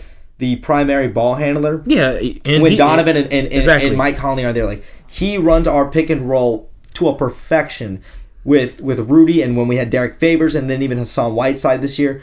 Like Joe Ingles perfected that, right? It was the ball fake, it was the dime, it was the lob up top, it was the step back three. I mean, Joe Ingles Yeah. just That's just had that with him. But but when I talk about this team this year, it doesn't doesn't move the it, needle. it, it, it doesn't move the needle considering how much of an impact Hassan Whiteside's had on this team for a good reason, right? Like Okay. it, Joe Ingles. I, I mean, does it suck not having Joe? Sure, but this season's team is a lot different because we had Rudy Gay coming off the bench who hasn't posted a minute in the postseason yet. Um, Hernangomez, Hassan Whiteside. It's just a different feel to our bench this year than we've had in the pa- years past, where we had guys like Thabo coming off the bench and um, you know Joe Johnson at one point, you know Derrick Favors, whatever, right? Kyle Yeah. Korver. This is different. So Do- Joe Ingles doesn't move the needle this year's team because our bench is significantly different for a lot of different reasons. So no, would it be nice? Yes, because I would like Jordan Clarkson or Trent Forrest to utilize that more, but um, that's not yeah. how our team is ran. That's not how Quin Snyder runs the offense. So Yeah, so um but yeah, going back to defensively, I mean they just man, they just man, I don't know, dog. Like I just see players just blowing past Donovan Mitchell, you know, blowing past guys like Bogdan or Bojan. I mean, uh, leaving Rudy Gobert to be able to have to, having to defend the paint and also drawing him into the paint, leaving wide open shooters out in the corner, no one's rotating, and you can see it's frustrating Rudy Gobert because like he's like, damn, dog, like we're NBA players, bro. Play some damn defense. Like Yeah. it's not that hard. Like it's not hard to play sound team defense. It's really Right. not, especially when you guys are you know you just long, try to athletic. lock in. If you just Exactly. try to lock in. Donovan Mitchell, I'm I'm seeing Brunson just blow right past him. yeah, Like just not even playing, not even trying to step in front of him. yeah. You know what I'm saying? And I and I don't know if it's because he's giving so much on the offensive end. That's why I think he's that's- I think he's that's all it tired and stuff like that. But you know they got to play better, man. They got to keep utilizing Mike Conley in the pick and roll game.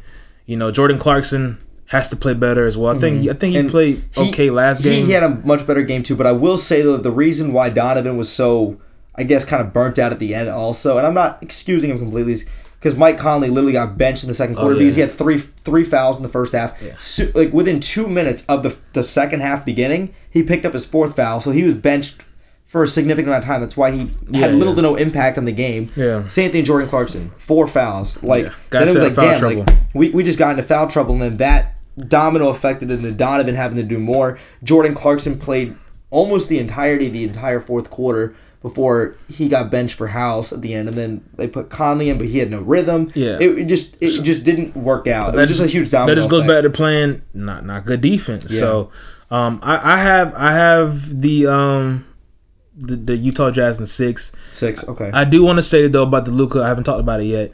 Uh, I talked about it off here, of course. But um, if Luka is they're, if they're trying to bring him back game three and game four, I think you're spelling trouble, man. Like Same. you know, when I hear calf strain, I think anything around that Achilles area, man, are like. I don't. You just can't bring him back that quick, dog. You got to kind of ride it out and just take the punches and see what happens, man. I mean, it's unfortunate, but you got a franchise player. You don't want to risk Superstar. him being a franchise superstar, all star, phenomenal talent. You know, top five player in the league. You can debate it with whoever. Yeah. You know what I'm saying? You don't want to have the chance of losing that next year. Yeah, because Dallas knows they're not going anywhere this year. Exactly. And even if Luka comes back, they could still lose this series. Exactly. So, you know, I think you got to take in caution. You know what I'm saying? Really look at how Luka's moving and see if he if he's not even like 80% of himself in No. game 3, don't play him, Don't- bro. yeah, yeah. because this reminds me so much of KD when he got hurt. Now, KD was out for a longer time and they actually listed as a, a partial I think they listed it as calf strain. I don't know what they list, listed meniscus it. tear or something. I don't know. Not a meniscus, but it was They, it was something. They like said that. something was. I don't know if they said a Achilles, a partial Achilles tear, or something like that. But all I know is they ruled it as a calf strain Yeah. or something like that. And you could see in the 2019 files when he pulled up for that jumper when he tore it, you could see the you could see Yeah, it move. bro. Like the, when they zoomed in on it. Oh, it Yeah, yeah. bad. So you don't want to like, you know, make that worse, bro. So I think the Mavericks should be very cautious with how they move. Keep playing good basketball. Who knows, man? You can take this to seven games, and you know, in a seven game series, bro. In this game seven on your home floor, who knows? You can win this series. Yeah. So, but I like I like the Jazz and six still though. But Yeah, and I like the Jazz in five, and it's not even just the bias in. Like I I just I, I knew Dallas would get their win. Plus, Utah coming at home in that atmosphere. I think anyone who watches basketball will tell you that's the best home court advantage in basketball. Not even a question. Yeah. Um, that place is going to be thumping. I expect Dallas to um, go in there and lose both those games, and then you know maybe they go win in Dallas, but I expect the Jazz to go in there and take care of business. But um, yeah, anything else you kind of want to wrap up before we um, finish up this? Uh. I do have questions to ask, What's but up? on the pod right now, um, just uh, some Woj news. What's up? It says um, there's still an evaluation ongoing on an MRI results of Phoenix Suns All-Star Devin Booker right hamstring, but it appears unlikely he'll be able to play Game Three and Game Four in New Orleans. Yep, but I, I'd rest him. Rest him Yeah. up. So, you can't afford to lose a guy like um, that. Do I have any questions on here? Let's see. Yeah, we, we, we briefly talked about the Joker. Um, Oh yeah, yeah. I want to talk about the. Joker. Um, when it comes to the Joker, I know you already talked about like you're very you're very set on stone on this MVP, and I and I agree with you. But you know, what does this series really tell you about Nikola Jokic? Right? I Absolutely nothing. nothing at all. Even him not, Not- even not playing well, thing. fouling out. Nope. You know, just Being gassed after game one. It uh, honestly, like, no, like all jokes, like it tells me nothing. He had no Jamal Murray these last two years in the playoffs. Mhm. No Jamal Murray. That, that ahead. and obviously now no no Michael Porter. Like I mean, what, what do you what, if if I take Draymond Green off the Warriors for an entire playoff series, like we'll get one. I'm game. not gonna. Yeah, but I'm saying like you're not gonna see Steph Curry play to the exceptional level of what Steph Curry's playing, right? On a consistent night. He, Steph Curry's still gonna do his thing, mm-hmm. but he's not gonna be the Steph Curry that we're accustomed to seeing. Yeah. Right? It's just I can't take that. So I saw something the other day that kind of made me think a little bit, right? When it comes to like why Joker is getting this criticism because he's been getting so much love this all this whole off season, I mean, this whole season, right, regular season, whatever. Right? He's gonna get win the MVP again, and they're saying that the NBA, this is a point that with winning the MVP again, he's gonna have criticism for not winning at least one game in the series, and they're trying to say this is why the MVP shouldn't go to a team that's ranked like this as a six seed or a seven seed because things like this can happen. No matter what the player is doing on a, a level of play when it comes Production to production everything, when it comes to analytics because stuff like this could happen. And he's the MVP of this league but he's getting outperformed even by his own opponent right now if it's matchup and stuff like that so But if LeBron James wills that Lakers team to a six seed, they're giving him MVP. Am I wrong? yeah, but LeBron James isn't going out like this Are we sure? I mean, I don't know. That Lakers team's bad. I, mean, he LeBron the took that play-in. 2018 Cavs team where they were a fourth seed to the finals Okay, that's a completely different team than this Lakers team That- he's rocking with right now. Oh, those Lakers. oh so no, I think this I think they give it to him, man. I really do. And That's I not, you're making my point for me. no, but I think he I think he performs better.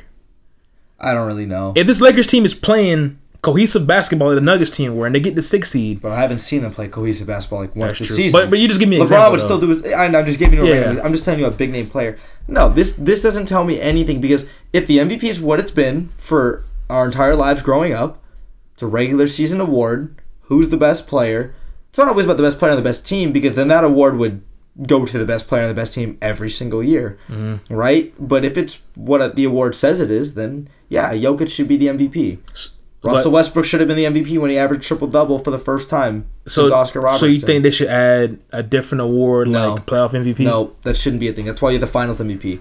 The, the the playoff MVP is you willed your team to the finals and you won the finals. Yeah, I None, none of this like, hey, I'm LeBron James and I dropped 51 in game one of the finals, but I still lost. yeah. So give me finals MVP. No, no, no. If you don't win the finals, you're not winning any finals MVP, no matter how well you played. I, I agree with that to a certain extent because, um, like you said, I mean, it's it's hard for a, a regular season MVP to win a, a championship. That's like yeah, that's two completely different things. It it rarely happens, right? I think the only players that do it have been LeBron, I think Kawhi. Kareem. Oh wait, no, Kawhi's number one MVP. You don't want to be LeBron, Kareem, Steph, Jordan, Magic. I'm pretty sure, and probably like I couldn't tell you the list off the or top of Wilt, head. Wilt, Wilt Chamberlain, something like that. You know, but it's, it hasn't really done, been done in this era of basketball. Only LeBron Right. and Surprised Duncan never did it. Tim Duncan. Yeah, I'm surprised he never did. I'm pretty sure he has. Well, but I in this, have to- I don't know the list off the in top the of my head. last ten years of basketball, only two Yeah. have done it. And I believe it's only been LeBron and Steph. Yeah. Yeah. So, um, yeah. I mean, I I, I agree, man. I yeah. It, it's just it's it, it is so hard because I was getting I didn't really get an argument, but I kind of made a statement on my page about like the big men's league and how like Joker looks gas and stuff like that. But this one dude got in my comments. He was like, uh, well, I don't, I don't really care about all that. Like, I want to see him perform. Like they did all this talking about him in the regular season, and I'm like, well, I mean. It's hard for a big man to carry a team. Especially because there's nobody like Joel, uh, uh, Nikola Jokic in today's Yeah, and even if it was Joel, like if you won MVP, it's still Yeah. hard for a big man, not a It's not a Giannis. Yeah, it's a guard-driven league. I'm talking about like a legitimate traditional big to carry it. This isn't the 1990s or 80s Yeah, anymore, no. right? It's hard, bro. So even if Joel and Joker um, struggle in the playoffs, I'm not mad at them because, bro, Nah. like these these dudes are like you know they're not they're not it's not you're not meant to be doing this Yeah. in this, this era of basketball, but. Moving on, I want to talk about Joel Embiid and the free throw merchants out there, and James Harden. Um, Film merchants. you know, I'm I'm, I'm not mad at Joel because I, I love his game a lot, man. But this this series really really put an emphasis on this. I mean, how do you feel about that? Like, I kind because of we, we've seen it like James Harden done it by himself with the Rockets. right. Joel's done it with the 76ers in the past, but now we're seeing two guys on the same team doing this. Like, what gives? Like, what's going to have to happen for like, are the refs going to have to start being fair to both sides, or to stop calling all these these um, these files? I think so. Cause we've briefly talked about it earlier, and you know, we you said how the NBA has put an emphasis on referees making different calls. You know, not trying to consistently have guys at the free throw line because that changes up the pace of the game, the duration, but also um, just the excitement, especially in transition, right? And I know that doesn't really affect them. This is more so in the half court when we talk about the free throw merchants. But I don't really have a problem with it. Yeah, does it suck kind of as a fan, like to see a guy go and shoot 25 free throw attempts? Yeah, it's it's annoying because it's not a one game of thing. It, this is a reoccurring theme consistently when it comes to these guys, and especially when we saw uh, Mike D'Antoni and James Harden in, in Houston. But it's part of the game. But you know what this teaches me, or I shouldn't say teach me. This should be teaching them is if they don't go and win a championship this year, then James Harden. How many times have you been this prolific scorer, or now a second option, and you've kind of been dependent on free throws? Yeah, it's a part of the game, but where's that gotten you? Same thing, Joel. This is the best season you've ever had. You're playing at an MVP level. You're willing your team right now to go and beat Toronto. You're going to move on and play Miami the next round. If you end up still being a free throw merchant and you know you don't advance, where did they get you? yeah, Maybe maybe you have to adjust your game. I know you're getting the points. I know you're getting the production. Maybe the free throw line isn't exactly something you be, you should be searching for. So I don't got a problem with it. I think for the average fan, yeah, it sucks, but whatever. Yeah, I, I just I just hate how like you just see it for one team because I understand why Denver Nuggets fans could be possibly mad at this because the Joker is the MVP and he doesn't get calls like that, right? Oh, no, he But does not. At the same time, I I, I respect it because not every time Joe not, not every time Draymond and Jokic are banging down low, you know, it's a calling it's a foul call Yeah. right? But I'm I've noticed every time I see Pascal Siakam or or uh, uh, what's the other guy's name? Um, the other uh, guy they had playing big with the uh, Toronto Ken Raptors. Birch. Not Birch, and there's the other one. Um, starts Chris something. Chris. I Oh, don't. I'm losing my mind right now. Uh, well, yeah. I know exactly. Yeah, I can't the, the right other now. guy. I mean, every time they see them bang down low, like Oh, foul. yeah, it's a foul call, bro. Same thing with Harden. Like, You know, every time he gets to the line, like he's still hooking people. You know, they're calling fouls when OG open uh Anunoby. uh, Anunoby is guarding him. So it's annoying. It definitely slows, slows down the game and it gets the other the other team at the game plan. But they got to be disciplined. You know, no matter what, they can't let the free throws uh Get to them. get to them and take them out their game plan. Um, moving on to the last question I really have. I believe I had this my last question, but um, Donovan Mitchell. Um, how do you feel about him during this playoff run? Like, do you think if the if the Jazz hypothetically, right? Let's say they Right. if they make it to the Western Conference Finals, let's say he, like he stays. What needs to be done to continue to build around his team? And let's say they get knocked out this round or the next round, does he leave? And he doesn't, or he does. Let's say they, if they if they get knocked out this round or the second round, does he leave? Uh, I don't think. I think it depends the way we get knocked out, right? I think. uh, First of all, I still don't see under any circumstance us losing to Dallas. So I'll say the conference semifinals. Right? if we go and we lose next round, uh, who would we play? Phoenix, right? And we take them to seven, and we lose in like a heartbreaker. You know, I could see Donovan staying, right? And I still, he just signed a deal. I don't think Donovan hates being in Utah. I think that's all just a bunch of BS made up by Brian Windhorst and a lot of people that just want that It's narrative out there, right? And it is because Donovan has never given like. like, Have you ever seen him heated on the sideline? Have you ever seen him, you know, giving off those kind of answers in, in Outside of the whole, now uh, he's Gobert thing, right? yeah, but they yeah. that's that's BS too because I know that they have a good relationship too, right? I'm not saying that they're best friends, right? But I know that they're not like button heads every time, Yeah. right? That and, and all this stuff about passing to Rudy and whatnot, like it, that's all just narrative driven, right? Sure, is it a stat? I get it, but you get my point. Um, I think it depends on the way we lose. Do I think we win the finals? No. Do I think that we can go to the conference finals? Yes. I don't really want to go there right now. I'm just living in the moment with what's going on. Um, Donovan has to understand, and I think he knows because he's a very intellectual guy. He's a part of the problem, and he's, a, he's a, especially on the offensive end. Definitely is. He's a part of the problem in the last five minutes of the game. This is not just a one or two game thing. This has been this entire season. I've never seen Donovan so inefficient and so mindless Mm-hmm. at the end of the game um, on a consistent, repeated basis. Is he still going to be the playoff performer? Absolutely. Is he still going to be 1A? Absolutely. He's still going to produce for me, and he's still going to be Spider Mitchell. The Jazz need that Spider Mitchell, but now it's up to Quin Snyder to say, hey, in the last five minutes of the game, I need our offense to not be stagnant. I need us not an isolation ball, mm-hmm. right? I still need Bogey coming off these screens, hitting some threes. I still need Mike Conley driving to the hole, getting some rhythm in the first half, so I'm confident in him mm-hmm. going into the end of the game. Where Donovan, I still need you to be you, but I don't need you ISO ball the last five Hero minutes ball. every single possession, right? Exactly. I still need the offense ran through. And if we get to the last minute or two, yeah, give it to Donovan. Mm-hmm. You know, if the play breaks down and there's seven seconds, give it to Donovan Mitchell. Let him create. Mm-hmm. That I'm, I'm okay with that. And even if he breaks it or whatever, I can live with that. Mm-hmm. But otherwise, I still need some fluidity within this offense. That's my thing. I don't think Donovan's up and out of here, but that's really circumstantial on how things play out. It's not as black and white. yeah, I, th- I think the media is really dri- driving this whole It's been like Rudy Gobert and Donovan Mitchell breakup. They I hate think each other. I think it's going to happen though after this offseason. I think it does. Unless see, we'll unless y'all made like a crazy run. Unless we go to the conference Yeah, finals. I, I think it because I mean something's got to give, right? You know, We'll. I think they should honestly move on from Rudy. You think they should move on? You think they should keep Rudy if anything?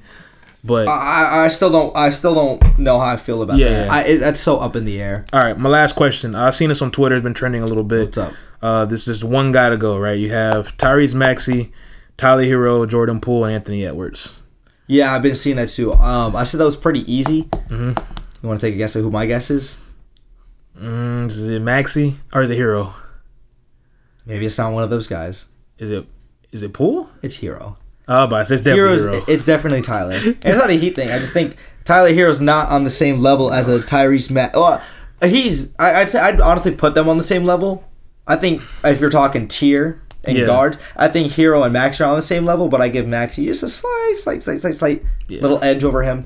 Um, but no, I mean Poole and Ant. They're on a different level. Yeah. And but yeah, no. Tyler Herro's got to go between those guys. I've been I seeing. definitely saw I've been that. seeing ones that've been saying uh Ant shouldn't even be on here because he's better than all these guys. I mean, he is. he is, but like He's the transcendent superstar. he is for sure. He definitely is. I said sure. Jor- I, I, we compared Jordan Poole earlier. Like I said, he's like an SGA. He's like a Jamal Murray. he's a poor man Steph Curry, but that's not a disrespectful. Thing, Yeah, you know? yeah. He Jordan Poole's a phenomenal player, but he's not. You're not building a franchise around Jordan Poole. You're building a franchise around Ant, Sure. Ja, all these. But you never too. know, man. I mean, I, you know, we we saw He'd have to get up and out of Golden State to. not He'd be- he'd be- necessarily. Yeah, I think Steph's like 34 years old, bro. I'm saying, but like if Jordan Poole wants to be built around, he wouldn't have to. He can't be in Golden State. You're not, not? building around Jordan. That's like saying I'm building around Mike Conley. I'm not building around Mike No, no, Conley. no, no, no, no. That's different. Okay, I'm not building around Bojan Bogdanovic, who's a 20 point per game scorer. That's different. This dude is 22 years old. I get it, but You can build around this guy. okay, am I building around Cole Anthony? Kind of. Yeah. Jordan Poole's a little bit better, but like they're kind of on the same trajectory of a type of player.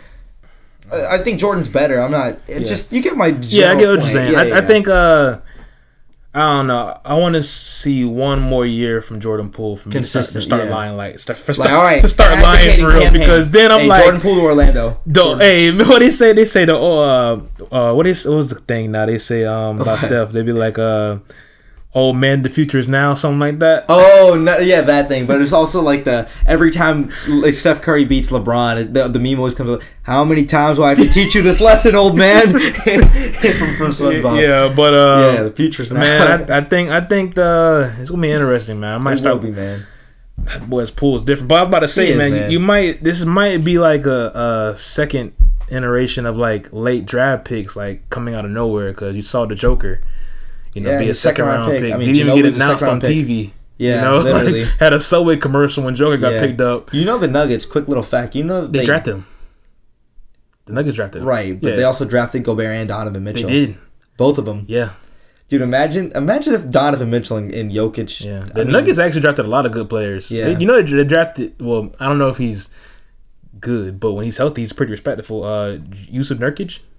Oh, Nurkic is a respectable player. Yeah, Yeah, yeah, They drafted him too. They were. I didn't they were. They drafted him in the same draft. Yeah, but they, they really they really be scouting. be man. scouting, bro. They really be scouting, man. What the hell? Jamal Murray, They- MPJ. Thing is, but with Utah, this is kind of where we'll end off. Is when Utah had their uh, I don't know what their media days called, like when uh, scouts um, come and um, how whole private workouts with like players coming out of college and stuff too. yeah. Right, you know they travel to a bunch of different teams. They go Yeah, work out of their facilities.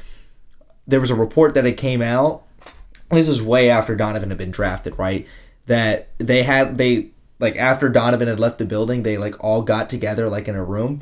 They're like, you do no like they swore like nobody says a single word about this workout and about what we saw today. They're like, there is no way this kid is not coming to Utah. Like they, they By, literally by, like by Mitchell. yeah, like they they they were like, this guy's the next thing. Like they, they just saw it and they they literally like from all the reports like got into a room and were discussing like, oh my god, like how does nobody know about this kid? Like this guy's the next thing and the second best player in the draft next to Tatum, you know. So I mean that was just crazy looking back on it, you know, because no, I, even as a Jazz fan, like I was like. Donovan Mitchell coming out of Louisville. I was like, I know I'd heard the name. I'm like, but he's not like, He you know, whatever. nowhere, bro. Yeah, Came out of nowhere. He was. but yeah, only- man. I think he's the um, only player. He's one of like three or four players in their first five or six years to average twenty points per game every single year that they've been in the league. He's up there with like Michael, LeBron, and like KD or It's something. kind of like uh, one more thing, or two more things. Kind of like like I said about Luka and Jalen Brunson being in the same draft. but The the Mavericks drafted terrible before those guys, and they found Yeah. two like cornerstone players. But ain't no franchise gonna be worse than the Charlotte Hornets, man. They traded Kobe on draft night, so Facts. Oh, and uh, they traded. Yeah, they traded Kobe, but then Portland also didn't take KD. They took Greg Oden over him. then they didn't take Jordan either. They take they took uh what's his That's, name? I don't even the remember. tall light yeah, skinned guy in '84. but- yeah, oh, yeah, Broke Port- his Port- knees. Portland's in shit. Hey, speaking of Portland, I'll actually be in Portland in three weeks, bro. For real? Two weeks. Yeah, I'm gonna go visit some friends. So, yeah, I have to. I got to. Too bad Portland's not in the playoffs, man. I have to pull up to a game, bro. I definitely would. Why not? You know. But hey, man, good podding today, bro. Hopefully we get some good matchups. Um, continuing on in the first round of the playoffs, man. Thank you guys so much for tuning into another episode of the Don't Overthink It podcast, episode 11. We will catch you guys next week, back still with the first round of the NBA playoffs. And like always, man, don't overthink it.